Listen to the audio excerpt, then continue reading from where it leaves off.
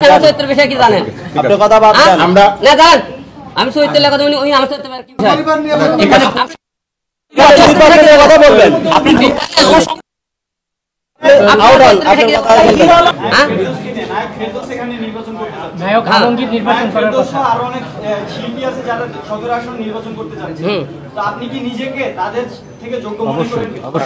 ওনারা করুক ওনাদের মতো করে আমরা আমাদের মতো করে করব কারণ একটি শ্রেণির যোগ্য অযোগ্য নির্বাচন। এখন যোগ্য অযোগ্য কিন্তু বিবেচনা করবে জনগণ এটা আমি আপনি নিজেকে যোগ্য চাইলে আপনি আপনি আমার কথাই বলেন ফের দোষের কথা বলেন সাকিব খানের কথা বলেন যারই কথা বলেন যোগ্যতা প্রমাণ করবে হলে কে জানেন জনগণ। এখানে আমি আপনি বলব বলবেন যে আমি যোগ্য। কিন্তু এখানে আমাদের থেকে অনেক অযোগ্য আছে। আপনারা আমার নামে একটা কেলেঙ্কারি দেখেন তো। আমার নামে আমি কোনোদিন ব্যাংক ডাকাতি করিনি। আমি কোনো বিদেশে পা- টাকা পাচার করে কিছু করিনি। আমি কোনো করে কেসিনো করে, ইয়াবা করে। আপনার দ্বিতীয় স্ত্রী নুসরাতকে ডিভোর্স দেওয়ার পর আপনি রিয়ার সাথে থাকছেন কোনো বিয়ের সাথে ছাড়াই। এই বিষয়টা চাওয়ার হয়েছে। উল্টা পাল্টা কোনো প্রশ্ন করবেন না। যে প্রশ্ন করে ভিত্তি না সেই প্রশ্ন করবেন না এখানে যে কথাটা প্রশ্ন করেন আপনি কিন্তু নেগেটিভ প্রশ্ন করতেছেন ওনার কথাটা বাদ আচ্ছা, মনে হয় শেষে- আপনি নেগেটিভ প্রশ্ন করলেন কেন ওনার কথা বাদ সবারই আপনার কাছে জবাব প্রমাণ আছে কথা তাহলে যে কোনো নেগেটিভ কোনো প্রশ্ন করবেন না। আপনি নির্বাচন করলে কথাবার্তা বলেন আপনি উল্টা পাল্টা করলে কথা বলেন কেন আপনি বাদ দাও আপনি চরিত্রের বিষয়ে কি জানেন আপনি কথা বাদ হ্যাঁ? দেন আমরা না জান আমি চরিত্রের কথা বলি উনি আমার চরিত্রের কি বিষয়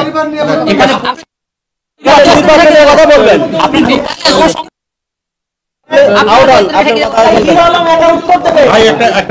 আমাদের একটা নির্বাচনী উনি চলে গেলেন কেন? Excuse me, আমাদের একটি নির্বাচনী পরিচালনা আমাদের ক্যান্ডিডেট তার বাইরে না।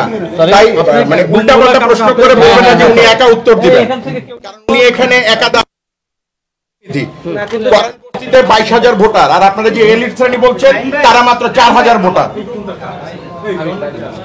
তো একটি শ্রেণির কিন্তু আচ্ছা, হিরো আলম আচ্ছা, আছে? আর কোনো প্রশ্ন আছে? আমরা শেষ করে দিই শেষ শেষ করে দিই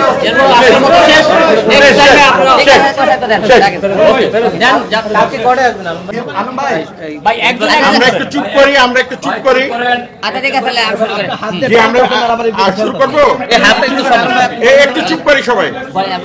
বলেন বলেন,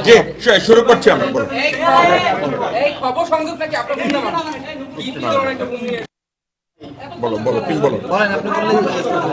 আচ্ছা দেখ সবাইকে আশা করি সবাই আপনারা খুব ভালো আছেন। আর আপনারা হয়তো মনে করছেন হঠাৎ কেন আমি আজকে নির্বাচনে আবার বগুড়া সতেরো সরি ঢাকা সতেরোতে আমি নির্বাচন করতেছি। আপনারা সবাই জানেন গত নির্বাচনে বগুড়াতে আমাকে জনগণ কীরকম ভালোবেসেছিল এবং ভোট দিয়েছিল আপনারা সবাই দেখেছেন, সারা বিশ্বে দেখেছে। আপনারা সবাই জানেন, আমার নির্বাচনে বগুড়া